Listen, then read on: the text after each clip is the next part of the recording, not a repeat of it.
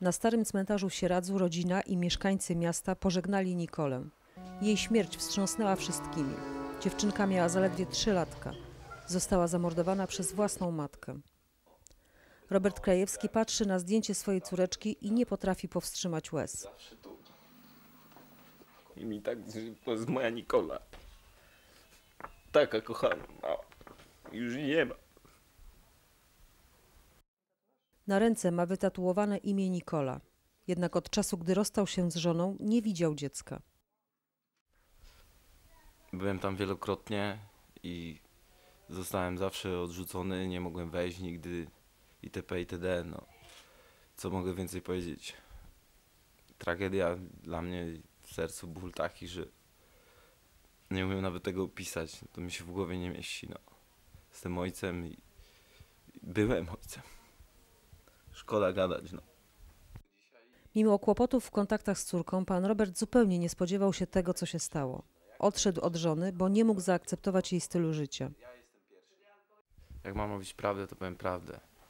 Ja po prostu yy, uważam, że zaczęła pracować ta dziewczyna w agencji towarzyskiej i moim zdaniem, jak jestem normalnym człowiekiem, dla mnie to jest niedopuszczalne w małżeństwie, żeby było na, na, na, na po prostu tak, taka sytuacja, żeby się z, po prostu z, miała miejsce, prawda? To jest dla mnie nie, nie, nie do pomyślenia, żeby pracowała w agencji, tu dzieckiem się nie zajmowała, Czy to mogło mieć wpływ na Violettę K? Nieoficjalnie mówi się, że zabiła córeczkę, bo jej przeszkadzała. Czy dlatego udusiła dziecko szalem?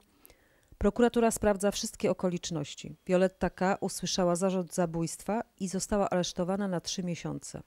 Niewątpliwie y, prokurator y, y, zasięgnie opinii biegłych psychiatrów w składzie dwuosobowym. Jeżeli biegli złożą wniosek o przeprowadzenie obserwacji psychiatrycznej, to oczywiście prokurator wystąpi do sądu o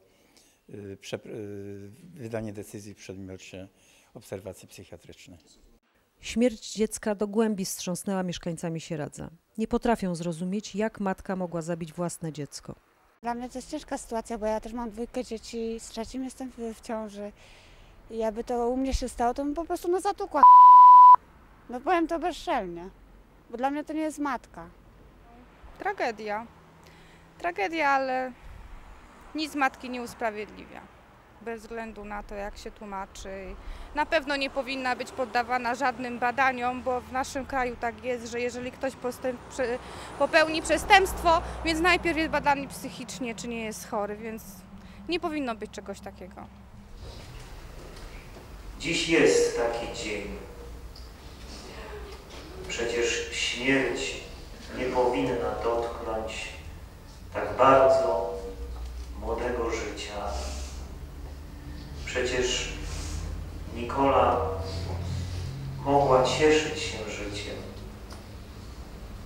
Przecież tak trudno będzie zapełnić pustkę po jej odejściu pozostawione zabawki, pusty pokój. W tym bolesnym momencie trudno cokolwiek powiedzieć.